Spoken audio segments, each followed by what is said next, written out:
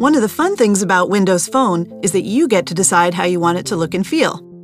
You can pin things to start, change the size and layout of your live tiles, and pick out new colors and ringtones, so your phone is unmistakably yours. You can resize your live tiles to highlight the stuff you want to see. Just tap and hold a tile, then tap the arrow to move between sizes. For phone calls, I just want a simple icon to tap, so let's make it small. But I like to see more detail about my incoming messages, so let's go large for messaging.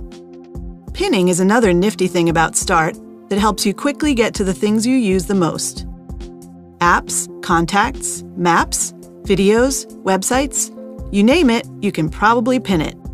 To pin something, look for the pin icon, or look for the option Pin to Start. Let's pin a contact to start. Now I can call, email, or text them in just a couple of steps or pin an app. I use Calculator a lot, so I'll go ahead and pin that. Just tap and hold, then tap Pin to Start.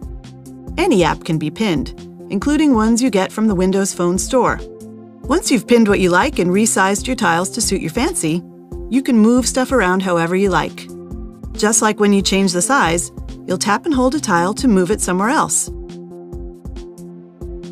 To unpin something, just tap here. You can also change your theme color. That'll show up on Start and in other places around your phone. I'll go to my app list, tap Settings, and then tap Theme. I'm a big fan of Violet, so let's go with that. While I'm here in Settings, I think I'll pick a new ringtone to go with my new purpleness. Just go to Ringtones and Sounds, tap under Ringtone, then tap the play button next to each tone to see how it sounds. When you find one you like, tap it.